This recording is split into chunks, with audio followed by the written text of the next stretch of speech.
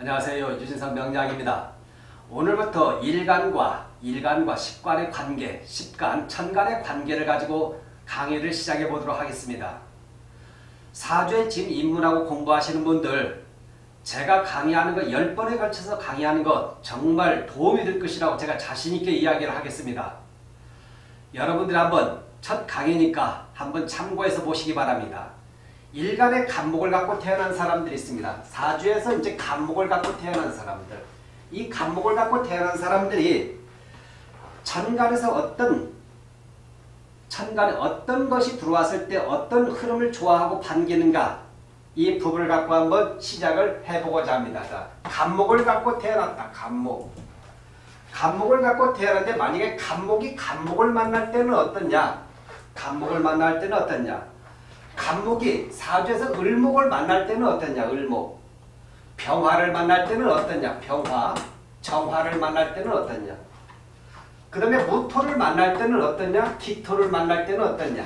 경금을 만날 때는 어떠냐? 신금을 만날 때는 어떠냐? 임수를 만날 때는 어떠냐? 개수를 만날 때는 어떤 건가? 일간 간목을 갖고 태어난데 간목을 갖고 태어났는데 갑이 나타났을 때 옆에 갑이 있을 때 갑이 있거나 아니면 문에서 갑이 들어올 때 어떤가? 이럴 때는 이 간목에서 사주에서는 어떻게 풀이해야 하느냐?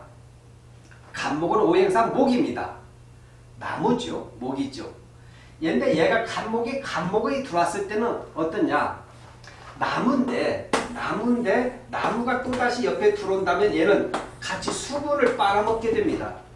나누고 쪼개 먹자는 이야기해 주죠. 같이 동등하게 수분과 햇빛을 나눠 먹자고 하니까 얘는 갑이 갑을 만나는 것은 분산된다, 쪼개진다, 나뉘어진다. 분산, 쪼개, 나뉘어진다는 것은 분명히 일간 간목에게는 좋지가 않다는 걸 이야기해 주겠죠.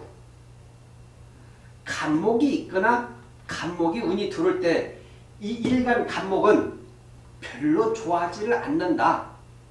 왜?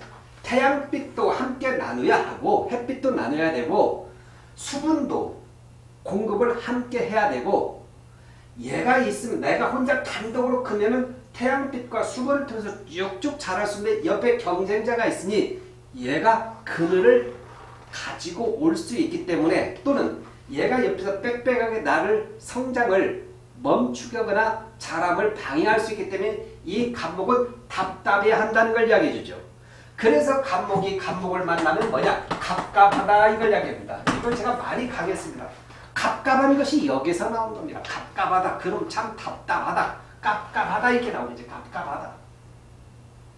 그래서 간목이 간목을 별로 반기질 않는다 이걸 이야기해 주겠죠. 그래서 사주를 일간 간목을 갖고 태어났는데 운에서 간목이 들어올 때 만에 하나 신약 사주에서는 사주가 신약하니까 간목이 들어오면 조금 자기를 도와주러 오겠죠. 신약하니까. 그러나 신강 사주인 경우는 정말 답답한 현상이다. 쪼개고 나누고 함께 분산시키고 그런 역할을 하기 때문에 별로 좋지는 않다. 그래서 신강사주에서 갑이 있는데 운에서 간목이 들어올 때는 통업을 하지 말라 그러는 것이죠.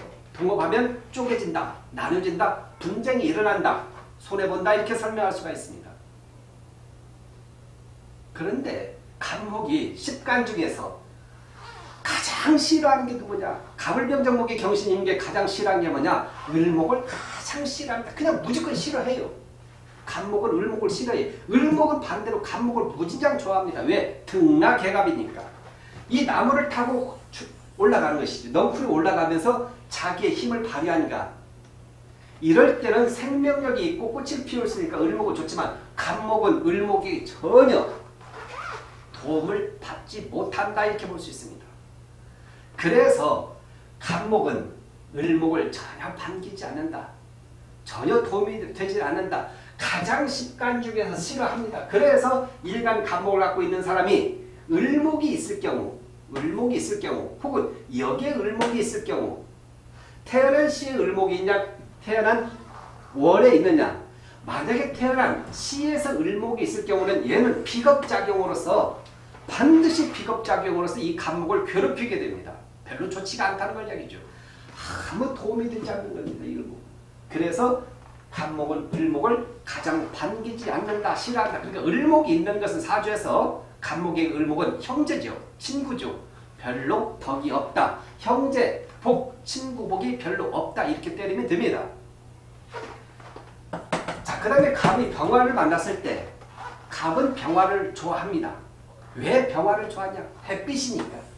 나무는 반드시 햇빛을 받아야겠죠. 수분 공급이 이루어지고 햇빛이 있으면 잘 자랄 수 있으니까 좋습니다. 특히 병화를 언제 좋아하느냐?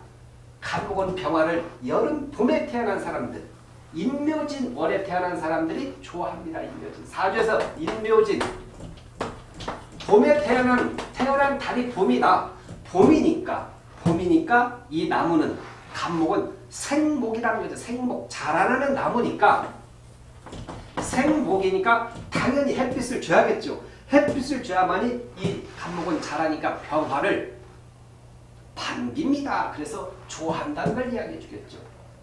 사주에서 간목을 갖고 태어났는데 병화가 있는데 어떤 상태냐 봄이냐 여름이냐 가을 태어난 계절이 봄의 계절이었더니 아 얘는 간목은 이 병화의 힘을 받는다. 그래서 이런 경우 간목은 병화에 의해서 두뇌 창의성, 기술성, 예술성 이런 부분을 꽃핀다. 문화 예술에 대한 기운 자체를 취할 수 있다 이걸 이야기해 주겠죠.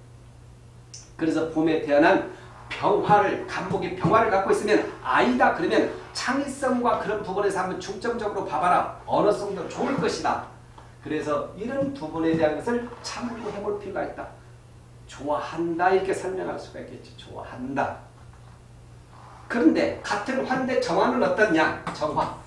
정화는 얘는 태우는 성질이죠. 태우는 성질이고 얘는 비추는 성질이 있는 거죠.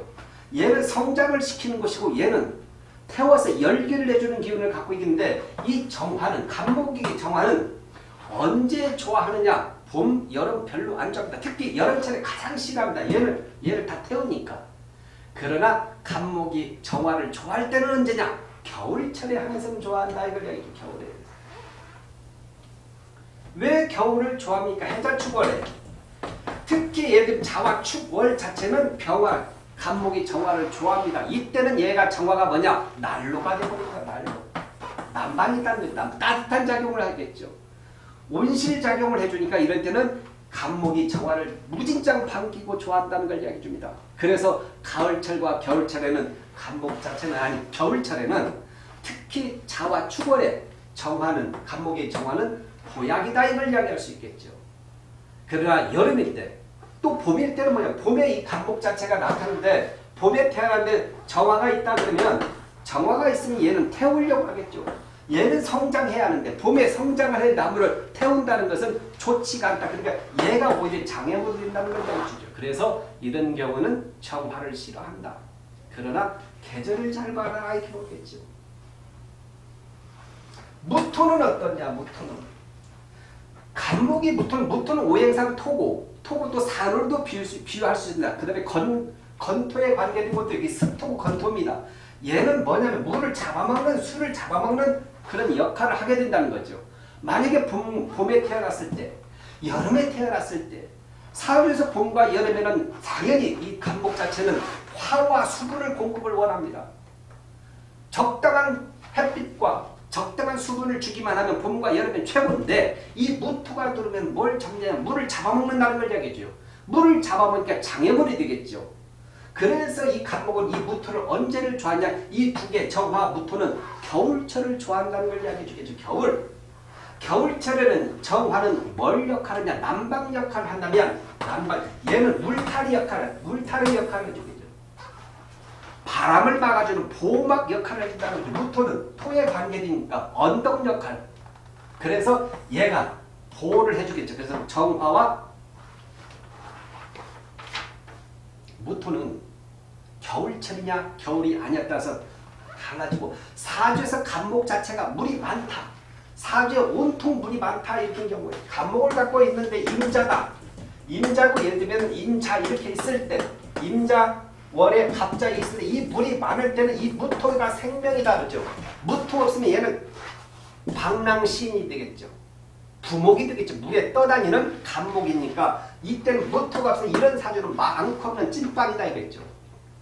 이럴 때 얘가 그 역할을 하게 되겠죠. 토국수를 하면서 물량을 막아주고 얘를 저수지로 만드니까 얘가 간목에 있어 편제는 굉장히 중요한 역할을 한다 이걸 이야기해 주겠죠. 운만 맞으면 큰 돈을 벌 수도 있다 이걸 이야기해 줍니다.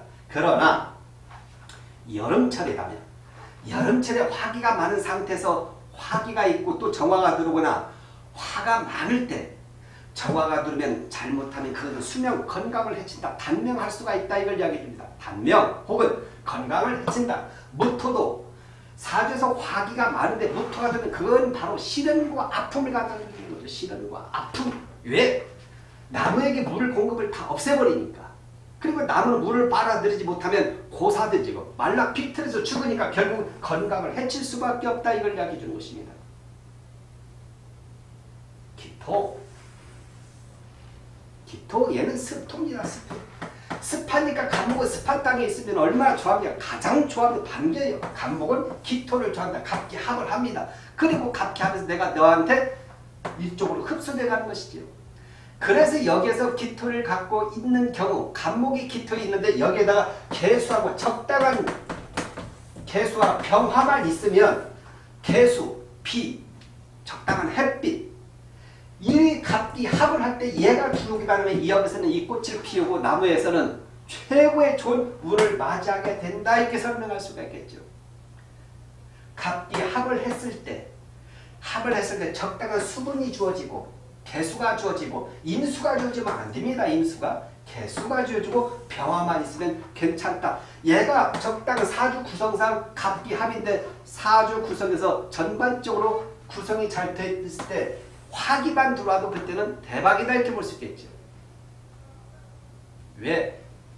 이 키토는 밭을 비유할 수 있습니다. 밭에 농작물이 들어갔는데 수분도 공급이 잘 이루어지고 햇빛이 들어오면 이 감목은 잘 자랄 수가 자랄 수밖에 없다 이렇게 설명할 수가 있는 것입니다. 그래서 사주에서 갑과 기는 합인데 얘네들은 개수하고 병화의 유무에 따라서 크게 격이 성립이 되냐 아니면 약간 밑으로 떨어지냐를 볼 수가 있다 이걸 이야기합니다. 간목이 경금은 있다. 사주생 경금 경금 이야기했는데 간목은 얘 벽값 인화를 해가지고 이 간목을 쪼개가지고 썼을 때 좋은데 이 경금 자체만 사주에서 정화가 없는 상태에서 정화가 없는 상태에서 경금이 있으면 얘는 흉기가 됩니다. 흉기 얘를 잘라버린다는 거죠. 도끼질해서 얘를 못살게 만드니까 반드시 사주에서 경금 정화를 만나야 합니다. 그래서 삼박자다 이 말이에요. 갑경무, 아, 갑경정 이 세 가지가 간목에게는 진신에 해당이 되고 중요한 거다 이걸 이야기죠. 이럴 때 사주 구성상 좋을 때 사주 구성이 이렇게 잘 형성이 됐다 상태에서 정화가 들어올 때 이때 대박이고 크게 장관이 되거나 아니면 큰 타이틀을 준다 이렇게 보는 것이고 보통의 사람들은 그렇게 볼 수는 없습니다. 갑목이 경금은 갑경 상충인데 상충을 정화가 들어와서 얘를 얘를 화기를 녹여주면 오히려 가장 좋은 관계로 성립이 된다. 다르게 이야기하면 간목은 간목은 생목이 중요한 것이 아니라 사목이 중요하다. 사목. 얘가 죽어서 뗄감으로 썼을 때 간목이 뗄감으로 쓸때 얘는 가장 자기 역량을 발휘한다는 걸 이야기해요. 그래서 생목은 자라는 과정이에요. 자라는 것이고 얘는 그래서 간목은 가을철과 겨울철 특히 겨울철에 기후를 좋아한다는 걸 이야기합니다. 얘는 경금에서 도끼질을 당해서 쪼개지 한다는 걸 이야기해 주고 쪼개져갖고 불을 살 활활 타오르게 해줘야겠죠. 그런데 이 화는 정화는 경금을 녹여서 날카로운 칼날을 만들어야 또 이 경금은 얘를 감옥을 탁 자른다는 걸 이야기해 줍니다. 그렇지 않으면 얘가 얘를 나무를 자르는데 날카롭지 않은 토끼는 경금은 감목을 완전히 형체를 박살내버립니다. 형체 모양새를 깨버린다는 거죠. 나무가 있는데 나무가 통나무가 있는데 얘가 무딘 토끼라면은 쪼개다 쪼개다 보면 얘는 톱밥을 만든다는 거죠. 장작을 못 만들고 완전히 모양새 없는 톱밥을 만들어버리니까 가루를 만들어버리니까 이때는 이 경금작용을 제대로 못하니까 고통과 아픔만 준다는 거죠. 계속 두드리고 아픔을 주니까 정화가 반드시 있어줘야 한다. 정화 없으면 없는 찐빵이다 이걸 얘기해주죠. 그리고 경금 자체가 없는 경우는 어떠냐? 경금이 없을 때는 얘가 얘를 태우려고 하는데 이 간목이 통나무로서 쪼개지지 않으니까 불이 활활 타오르기가 힘들다는 거죠. 쪼개서 경금을 간목을 벽과 이연화를 해서 쪼개갖고 타오르게 해줘야 돼. 통으로 녹게 되면 이 정화가 잘못하면 꺼지게 된다는 거죠. 불 있는데 적당한 불이 통나무를 그냥 넣으면 오히려 타지 않고 꺼지게 된다는 걸 이야기해 줍니다. 그래서 이 삼박자는 굉장히 중요하다 이걸 이야기해 줍니다. 사주에서 간목을 갖고 태어났는데 가을철이다. 가을철은 이미 금이 있겠죠. 가을철에 이 정화가 잘 들어오냐에 따라서 대박이냐 이 쪽박이냐를 볼 수 있고 간목을 갖고 태어났는데 겨울철이다. 겨울철에 화기를 갖고 있다. 그럼 이때 경금 자체가 들어와서 쪼갰을 때 그때가 승진, 합격, 좋은 운을 맞이하고 대박을 친다 설명할 수 있겠죠. 그러나 갑경정은 공직, 관직에 관계된 부분에서 이야기를 좀 보편적으로 많이 합니다. 신 간목이 싫어하는 것은 을을 싫어하고 그 다음 싫어하는 신을 싫어한다. 을신 상충도 싫어합니다. 얘는 가위로 볼 수 있겠죠. 아니면 과위로 볼 수 있고 얘는 토끼다면 얘는 죽음한 줄토 아니면 칼, 칼을 볼 수 있겠죠. 나무를 간목을 갖고 이 칼 갖고 조그만 면도칼을 가지고 혹은 과도를 가지고 과도를 갖고 얘를 벨려고 하면 잘 자르지가 않겠죠. 그래서 시원치 않다 이걸 이야기해 줍니다. 여자 사주가 간목을 갖고 있는데 정, 신금은 정관을 이야기합니다. 배우자입니다. 사주에서 간목을 갖고 있는데 간목을 갖고 있는데 신금을 갖고 있다. 이게 배우자 남편입니다. 이 별 볼 일 없습니다. 간목이 신금이 있으면 그 남편하고 별로 사이가 좋지가 않습니다. 그러니까 이 간목은 이 남자를 걸고 다른 남자를 선택한다. 그것이 편체다, 편과이다는 걸 얘기죠. 애인을 선택하고자 한다는. 시원치 않다 이 말이에요. 성에 차지를 않는다. 더군다나 사주가 간목이 신강 사주에서 신이 신 약할 때는 이 남편하고는 절대 살 수가 없습니다. 살 수가 없다. 별로 좋아하지 않는다. 근데 이놈이 만약 병화를 갖고 잡아먹는다. 봄에 태어났어요. 간목이 병화, 생국, 그러니까 자라는 과정에 인묘진, 2월달, 3월달, 4월달에 태어난 간목인데 이 신금이 옆에 있으면 뭡니까? 병화를 잡아먹잖아요. 태양을 잡아먹으니까 얘는 백해 무기가다 이걸 볼 수 있겠죠. 쓰임새 있을 때도 있겠죠. 그러나 보편적으로 그렇다 제가 이야기를 하는 것입니다. 그 다음에 임계 이것도 잘 참고해 보시라. 간목이 간목 자체는 기본적으로 간목은 뭐냐? 간목을 갖고 있다면 첫 번째는 뭐냐? 이 나무가 간목이 햇빛을 원하냐? 화기를 원하느냐? 아니면 얘가 되면 화기가 우리가 수분을 원하느냐? 이걸 봐야겠죠. 반드시 얘는 적당한 수분과 화가 필요하니까. 그런데 이 물이 임수가 간목에게 있어서 간목에서 이 임수가 많다 있게 되면 임수가 많으면 얘는 부목이 되어버린다. 부목. 물에 있다면 통나무다 이렇게 볼 수 있겠네. 통나무. 통나무가 됐다면 임수가 많이 있다면 간목의 수가 임수가 많으면 통나무가 되니까 둥실둥실 되니까 뭐냐 자기 목적이 없다. 그러니까 결국 뭐냐면 구름 나그네가 되겠죠. 나그네. 뿌리가 없다는 걸 이야기해 주죠. 뿌리. 뿌리가 없으니까 힘들겠죠. 그런 상태에서 여기서 이렇게 있으면 이것은 간목은 물에 떠 있는 상태니까 사회 운자 태어난 달에서 이렇게 있으니까 여기 무토가 없을 경우에는 무토가 없을 경우에는 참 곤욕을 치릅니다. 삶 자체가 곤욕이다 이렇게 볼 수 있겠죠. 그래서 임수도 적당한 걸 좋은데 임수는 어떤 게 좋으냐 사주에서 목을 필요 목이 술을 필요로 할때 한 여름처럼 좋겠죠. 그러나 근본적으로 이 간목은 천간의 임과 개를 별로 좋아하지 않고 지지에서 있는 것이 좋습니다. 지지에서. 왜? 개수는 어쨌든 내리는 하늘의 비다 이 말이에요. 비가 내리면 일단 병화를 잡아먹는다는 걸 이야기합니다. 그러니까 지지에서 진 속에 있는 개수, 축 속에 있는 개수 이런 것을 좋아한다는 걸 이야기해 주겠죠. 습한 것을 좋아한다. 많으면 문제다. 적당한 건 좋다 이게 볼 수 있겠죠. 그런데 이게 좋은 거지만 많으면 문제겠죠. 개수도 가장 좋아합니다. 얘는 간목은 임수를 별로 얘보다는 개수를 좋아합니다. 적당하게 내리는 피를 좋아하죠. 피. 얘를 좋아해요. 근데 이 개수도 만약에 많으면 어떠냐? 간목을 갖고 있는데 개수가 있다. 개수가 있다. 개수가 있다. 이렇게 개수가 있으면 뭐냐? 이때는 뭐냐? 이 간목 자체는 이렇게 비가 계속 내리면 햇빛이 없다는 걸 이야기해 주죠. 음지나무가 됩니다. 음지나무. 햇빛이 없어요. 음지나무. 음지나무 그러니까 열매가 있겠냐? 열매가 없겠죠. 열매 있어봤자 햇빛을 안 받으니까 단맛을 못 내겠죠. 결실이 약하겠죠. 열심히 했지만 제값을 못 받는다 설명할 수 있겠죠. 그런데 더 나쁜 거 뭐냐? 얘가 감목이 통나무가 됐을 때 생목이 아니고 가을철과 겨울철에 태어난 개수라면 가을과 겨울에 태어난 상태에서 감목이 개수가 이렇게 자꾸 들어오면 뭐냐? 얘는 부목이 되버린다. 썩은 나무가 된다는 걸 이야기거든. 썩은 나무가. 부식된다, 부패한다 이거지. 썩을 부자를 쓰겠죠. 부목이 이렇게 봅니다. 썩을 부자겠죠. 썩을 부자. 썩은 나무가 되는 거죠. 왜? 비를 맞으니까. 통나무에 비를 계속 내리면 이 나무는 결국 썩습니다. 부목이 된다는 걸 이야기해 주겠죠.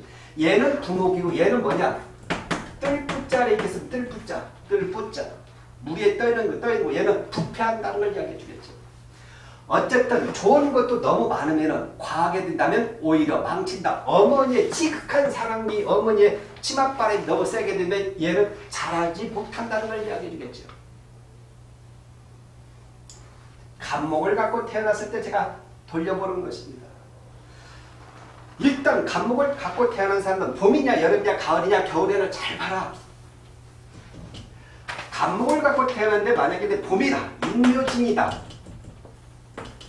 2월달, 1월달, 음력 2월, 3월, 4월달에 태어났다면 이 간목은 분명히 열리면 햇빛을 줘야겠죠. 그리고 봄에 태어나면 뭘 가장 원하냐면 얘는 자라야 하니까 간목은 자라니까 수분 공급을 엄청 원합니다. 물 공급을 원한다는 거죠. 자라야 하니까 나무는 물 먹고 쭉쭉 자라야겠죠. 봄에는요. 그 다음에 여기서 햇빛이 필요하겠죠. 근데 간목이 사오이다 여름 철이라는 건 뭐냐? 이때는 햇빛보다는 뭐가 필요하냐? 수분 공급만 이루어지면 좋겠죠. 수분. 이때 사오미 때 무토와 기, 정화와 기토가 정화와 무토가 들어오면 이때는 망친다는 걸 이야기해 주겠죠. 건강에 대한 부분. 나이 먹어가지고 사주에서 화기가 많은데 기토나 무토가 돌 때 그때 좋지가 않다 이걸 이야기해 줍니다. 건강에 대한 부분이나 여러 가지 사오미, 진유술, 가을철이겠죠. 가을철은 이 나무에서 열매를 따야 합니다. 열매 따니까 적당한 햇빛이 필요하겠죠. 햇빛 자체가. 앞으로 한 달 후에는 햇빛이 많아져야 한다. 그래야 농작물이 잘 튼실하게 자랍니다. 햇빛. 그리고 여기서 적당한 수분이 필요합니다. 수분 공급은 이루어져야 돼. 왜? 건조하니까. 그다음에 해자축이 되겠죠. 해자축은 당연히 간목에는 따뜻한 걸 원하는 거죠. 따뜻한 거. 이것은 따뜻한 거. 화기가 원한다는 걸 이야기합니다. 어느 계절에 태어나냐 간목. 일단 사주에서 간목을 갖고 태어났을 때 이런 부분에 대해서는 기본적으로는 해석할 줄 알아야 한다. 얘네들이 왜 좋고 왜 싫은 건가? 이 부분을 갖고 제가 이야기를 한 것입니다. 사주에서 간목을 갖고 태어나 빨리 계절을 보자. 어느 달에 태어났느냐? 사주 구성상 얘가 얘가 간목이 들어왔을 때 신강사주에서 얘가 간목이 들때 아 별로 좋지 않고 그럼 무조건 얘를 쪼개고 나누고 별로 좋지 않다. 얘도 탈제 현상 좋지 않다는 걸 이야기해 주겠죠. 그런데 이게 사주에서 겨울철이다. 겨울철이다. 이런 그 돌박 어 겨울철이지만 괜찮네. 얘는 스스로 일찍 철들었다 딱 설명을 합니다. 어, 나무가 일찍 철들 자기 역할을 한다는 걸 이야기해요. 땔감 역할을 할 수 있는 준비가 됐다는 것은 어린 놈이 어린 녀석이 가, 간목이 겨울철에 태어났다면 지 스스로 지 스스로 철들은 아이다 이렇게 철들었다 생각할 수 있는 것이죠. 근데 봄에 태어난 건 좋지만 인묘진에 태어났지만 얘는 성장의 과정이기 때문에 부모가 소가리는 좀 해줘야 한다. 왜? 막 성장하는 단계인데 여기서 열매 딸 수가 없기 때문에 이야기합니다. 봄에는 열매 딸 수가 없다. 성장 과정이 그래서 봄에 간목이 봄에 태어났을 경우에는 때를 기다려주면 된다. 이렇게 설명할 수가 있습니다. 오늘은 첫 번째 간목을 갖고 이야기했습니다. 을목을 갖고 다음 시간에 여러분들 찾아뵙겠습니다. 감사합니다.